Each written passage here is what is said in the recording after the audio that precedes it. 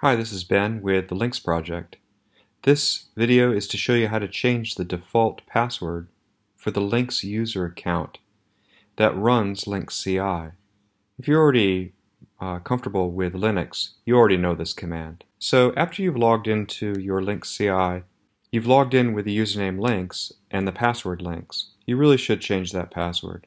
So enter the command password spelled P-A-S-S-W-D on the command line while logged in as the lynx user and hit return.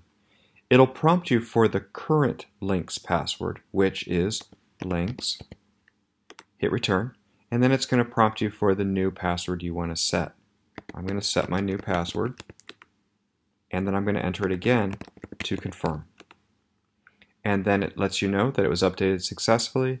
You've now secured the Lynx account on your Raspberry Pi or your cloud instance. Congrats.